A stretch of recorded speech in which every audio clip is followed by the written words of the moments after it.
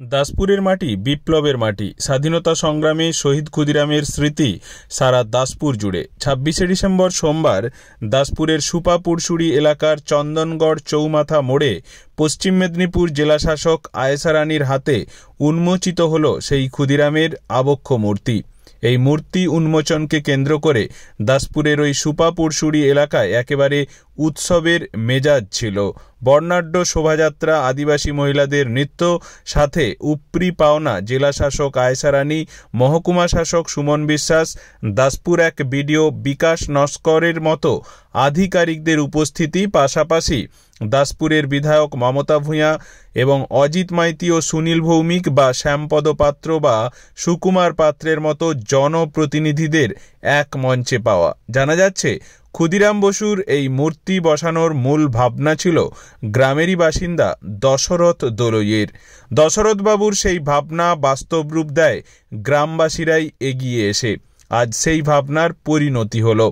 জেলা শাসক থেকে ঘাটালের মহকুমা শাসক সবাই আপ্লুত এই মূর্তি প্রতিষ্ঠায়। অন্যদিকে, ছাব্বিশে ডিসেম্বর থেকেই সুপাপুরসুরি উচ্চ বিদ্যালয়ের সামনে শুরু হলো চন্দনগড় মিলন মেলা দু হাজার বাইশ তেইশ। এ মেলার উদ্বোধন করলেন জেলা শাসক আয়েশা রানী। মেলা কমিটির তরফে জানানো হয়, আগামী দশ দিন ধরে চলবে এই মেলা। মেলা কমিটির সভাপতি দশরথ দোলই জানান, গ্রামের মাঝে এই মেলায় এলাকাবাসীর উৎসাহ থাকে চরমে। এবার এই মেলা সপ্তম বর্ষে পদার্পণ করল। সৌমেন মিশ্র ও সন্তু বেড়ার রিপোর্ট, স্থানীয় সংবাদ, ঘাটাল।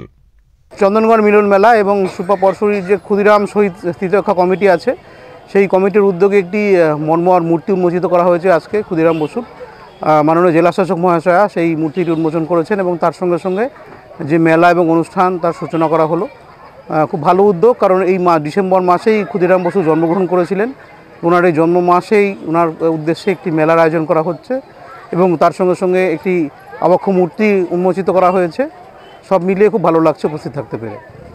যে মহকুমা শাসক হিসেবে যে ঘাটাল মহকুমা জুড়ে যে শীতকালীন যে ছোট ছোট মেলা, এবং তাতে যে ধরুন সাংস্কৃতিক অনুষ্ঠান এবং সাংস্কৃতিক যে চর্চা এই বিষয়ে কি বলবেন?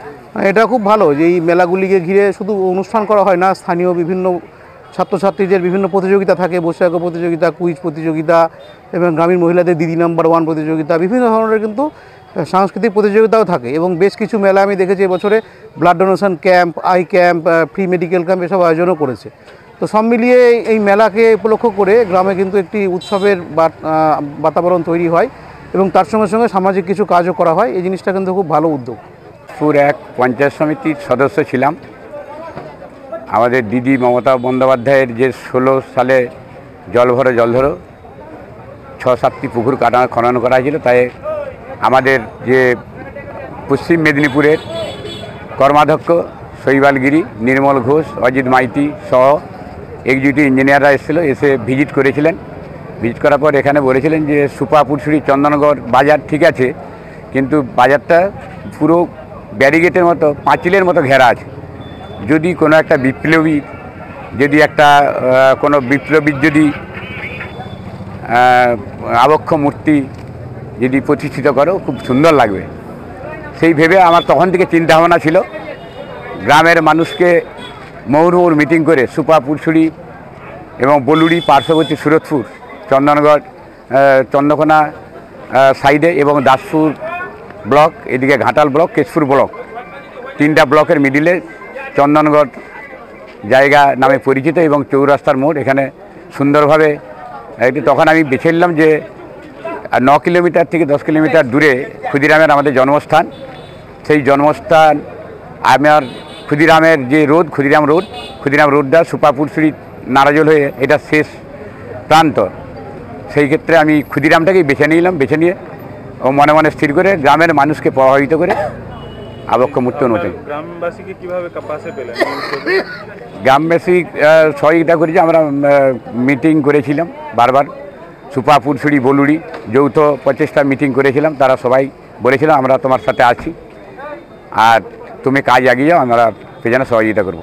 প্রত্যেকটা মানুষ আর্থিক সহযোগিতা করেছে এবং সবাই আমাকে ত্যাগের দিক থেকেও সহযোগিতা করেছে সময় দিয়েছে সময়ের দিক থেকে সহযোগিতা করেছে।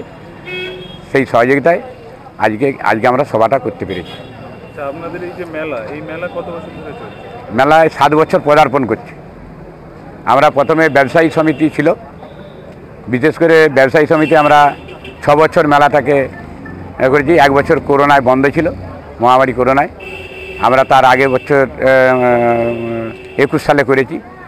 করার পর আমরা ভাবলাম যে তাহলে আমার দিকে ক্ষুদিরামটা যদি চে- করতে হয় আমরা মেলা উদ্বোধনের দিনেই আমরা ক্ষুদিরামের যেহেতু আটই ডিসেম্বর ক্ষুদিরামের জন্মদিন ওই মাসটা ধরেই আমরা কিন্তু ক্ষুদিরামের আবক্ষ এবং মেলাটাও করব। এই এলাকাটা তো মূলত বন্যা প্লাবিত এলাকা। এই যে সারা বছর ধরেই প্রায় দুঃখ কষ্ট থাকে। এই যে মেলা এই মেলাতে মানুষের উৎসাহ বা ভিড়টা কেমন থাকে বা এই মেলার বৈশিষ্ট্য কি কি আছে? মেলায় উৎসব এবছর দেখা গেছে। লঙ্কা এবং ধান ভালো হয়েছে। আলুয়ে টাকা পায়নি মানুষ। আলু চাষিরা সব গুদাম ঘরে আলু রেখেছিল কিন্তু টাকা পায়নি। শশাটা উঠতে শুরু করেছে। আর বিশেষ করে সবচেয়েতে আমাদের দিদির যে পরিকল্প প্রকল্প সেই প্রকল্প লক্ষ্মী ভাণ্ডার থেকে শুরু করে, বিধবা ভাতা থেকে শুরু করে, আয়ে মা, আমাদের সমস্ত মা বা বোনেদের বা আমাদের দাদু ঠাকুমা যারা বিধবা ভাতা পায়, লক্ষ্মী ভাণ্ডার পায়, তাদের কিন্তু এই এই মুহূর্তে, বয়স্ক ভাতায়, এই মুহূর্তে তারা কিন্তু ওই টাকাটা এই সময়টা খরচ করে এবং আমাদের মেলাটা সাকসেসফুল হয়। কোনো জিনিসপত্র দশ দিনের মধ্যে যত সমস্ত ব্যবসাদাররা আছে, তাদের কিছু ঘুরে যায়নি, এখানে বেচাকেনা হয়ে যায়। আমরা সাকসেসফুল হই। সাংস্কৃতিক অনুষ্ঠান আছে যাত্রা আছে তারপরে নৃত্য আছে আমাদের ঝুমুর নাচ আছে আর বাউল আছে। এই সকল আমাদের বিয়া- দশ দিনে দশটা প্রোগ্রাম থাকে। সিরিয়ালও কিছু দুই তিন দিন আছে সিরিয়ালে। আমার নাম দশরথ দুলই। দাসপুর এক প্রাক্তন পঞ্চায়েত সমিতির সদস্য। মেলাটা কোন জায়গায় হচ্ছে? ওই গ্রামের নাম? মেলাটা সুপা পুরসুরি একটাই মৌজা।